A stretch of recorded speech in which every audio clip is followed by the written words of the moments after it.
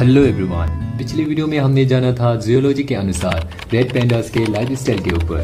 तो चलिए आज हम जानते हैं इनका डेंसिटी और प्लेसेस के बारे में। According to world wide fund for nature they are found in the Himalayas and mountainous terrain of the red pandas live in high altitude forest of Nepal India Bhutan Myanmar and China they are mainly arboreal species जो अक्सर water sources के करीब bamboo से covered areas में रहते हैं आज पूरी दुनिया में डेंसिटी के हिसाब से इनकी तादाद बहुत कम है और ये आज इंडेंजर्ड जोन में है according to national geology pandas are declining throughout their range as a result of increased agriculture, hunting and pressure from growing human population. आज जंगल में दस हजार से भी कम पांडास बचा हुआ है और ये पूरे साउथ ईस्ट एशिया में फैले हुए हैं। रिसर्चर्स के एस्टिमेट के मुताबिक in the last two decades 40 percent red pandas decline हुआ है। और अच्छी खबर ये है कि रेड पांडास विलुप्त प्राय होने के कारण Bhutan Nepal India Myanmar China जैसे देशों में लीगली प्रोटेक्ट किया जा रहा है। और अब इनको घर में पर्सनली पाल नहीं सकते क्योंकि ये इलीगल है। They also required special diet and health care आज जंगलों में इंसानों के ग्रीड और लापरवाही के कारण कई सारे जानवर विलुप्त होने का कगार पे रिसर्चर्स के एस्टिमेट के मुताबिक हर साल 15 बिलियन ट्रीज कट किया जाता है। More than 41 million trees per day इंसान इतनी केयरलेस हो चुका है कि बढ़ती हुई टेम्परेचर को देखकर सिचुएशन को अंडर एस्टिमेट करके जंगलों को कंटिन्यूसली काटते जा रहा है बढ़ती हुई गर्मी के कारण ग्लेशियर्स पिघल रही है और कोस्टल एरियाज़ में सी लेवल बढ़ते जा रहा है। हाल ही में दुबई में हुए तबाही के कारण भी वजह क्लाइमेट चेंजेस बताया जा रहा है।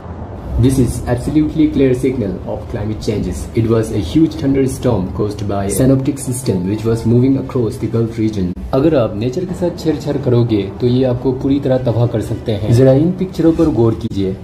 इन बेचारों का क्या कसूर, जो आज ये सब सहना पड़ रहा है? ज़मीन से लेके आसमान अंडर सी तक इंसानों ने कब्जा किया हुआ है।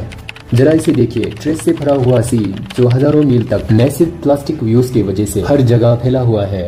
अगर आप अपना और इन जानवरों का थोड़ा सा भी केयर करते हैं तो आज से ही कंसर्न करना शुरू करें।